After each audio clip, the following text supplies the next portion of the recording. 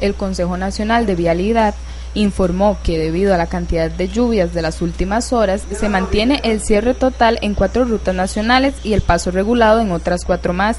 Por otra parte, el arreglo del puente sobre el río Parismina en la ruta 32 provocó el cierre total de la vía. El CONAVI recomendó a los conductores desviarse por la ruta 10 de Cartago a Siquirres pasando por Turrialba. Los trabajos en este sector se pueden extender hasta el sábado.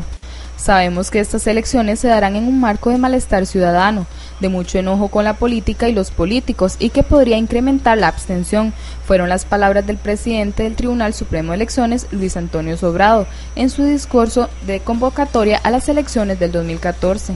El Banco Central, el sector municipal e instituciones no financieras registraron un veloz crecimiento de su deuda durante el último año con corte agosto, según datos del Ministerio de Hacienda y del ente emisor. Un día después del inicio de la campaña política, el doctor Rodolfo Hernández emitió una carta de renuncia a la aspiración de candidato presidencial por el Partido Unidad Social Cristiana para las elecciones del próximo 2014.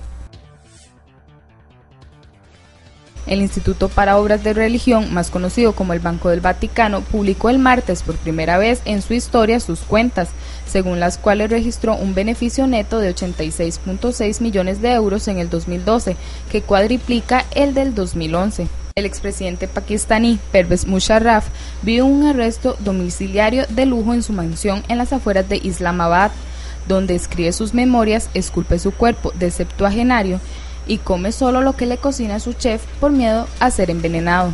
Trece personas murieron este jueves al estrellarse un avión poco después de despegar del Aeropuerto Internacional Murtala de Lagos, confirmó la Agencia Nacional de Gestión de Emergencias de Nigeria. Además, seis supervivientes han sido evacuados a un hospital en estado grave, indicaron fuentes de la Autoridad Federal del Aeropuerto de Nigeria.